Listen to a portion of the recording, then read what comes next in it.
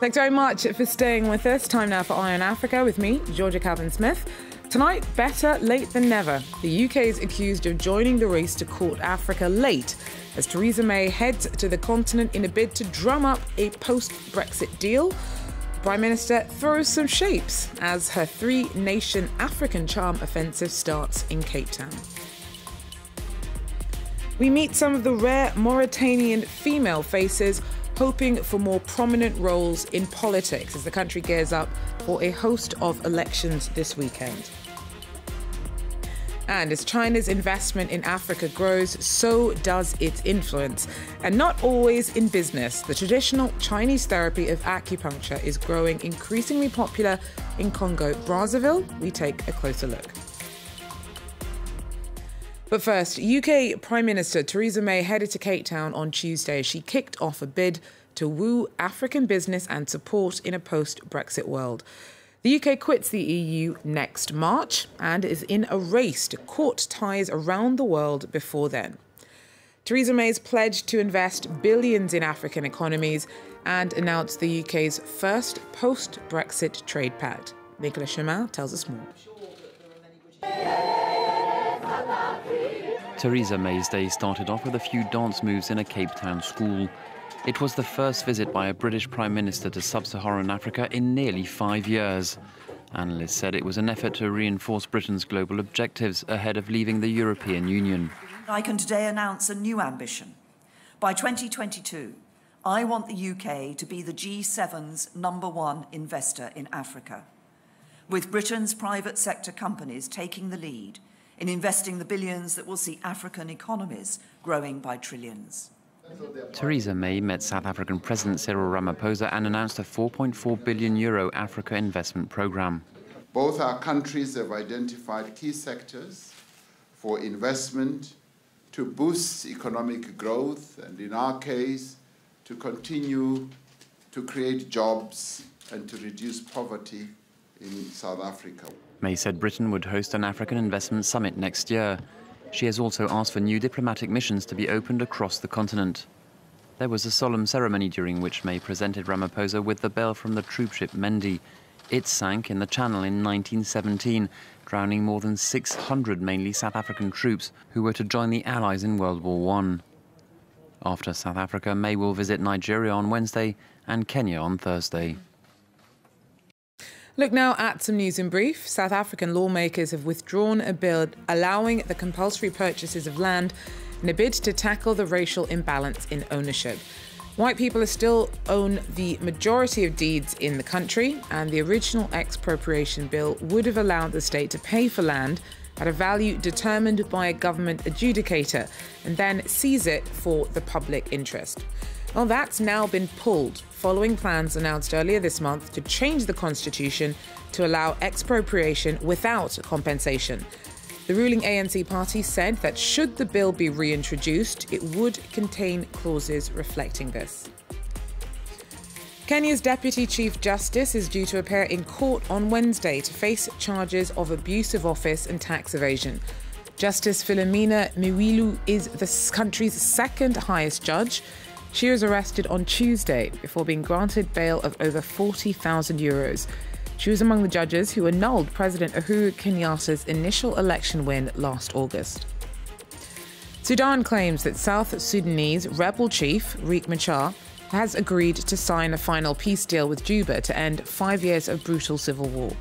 He earlier refused to agree to signing, but media say that he's out. He, agreed to put pen to paper on Thursday. Machar and South Sudanese President Salva Kiir have held weeks of talks in Khartoum. Previous peace deals have proved short lived and fragile.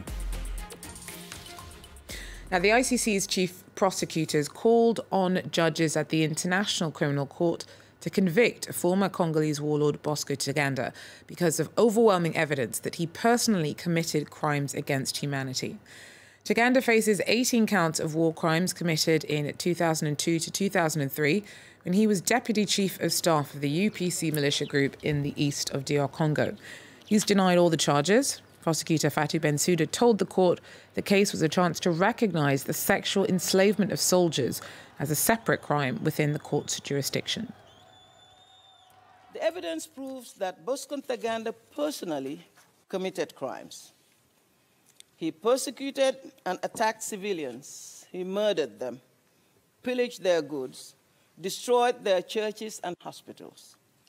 Bosco Ntaganda and his co-perpetrators not only terrorized the civilian population, they terrorized their own troops. They forced the children in their army to kill. They treated them cruelly. They raped and sexually enslaved them. Mauritania heads to the polls this weekend for regional, municipal, and legislative elections. Less than half a dozen seats have been reserved for women on the National Assembly, and female politicians are still relatively rare. Less than two dozen seats, excuse me. Our correspondents tell us more and have spoken to two women hoping for more prominent political roles. Habi is one of Mauritania's opposition party anti slavery activists. She lives on the outskirts of the capital, Nouakchott, and this year, the 50 year old is running in the legislative elections. Although slavery has been abolished here for 30 years, rights groups estimate that 20% of the population is still enslaved. Habi is driven by her painful personal experience of the practice. My candidacy is the result of my fight against slavery. I myself was a slave, but I was freed. I still suffer the consequences of what happened to me.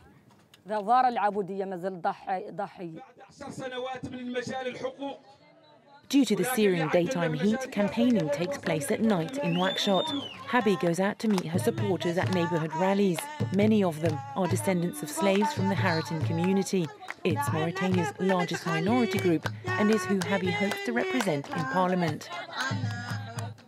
Once I am elected, I will immediately claim my rights and the rights of my parents my parents who died. I am going to fight, fight for those who are still in slavery. Fatimatu Abdel Malik is another rare female face in this year's race. She's a member of the ruling party and running in the regional elections. She's come from a civil society background and is well known in Mauritania for her commitment to improving women's rights and helping the needy. I help the disabled. She's happy about that. Even if the women here have a special, relatively privileged status in Mauritanian society, they're not present in the political sphere. It's a way to support them, to make them aware of their rights, their interests, and especially their future. With an unprecedented 105 political parties voting in the elections, female candidates have 20 seats reserved for them in the 157 seat National Assembly.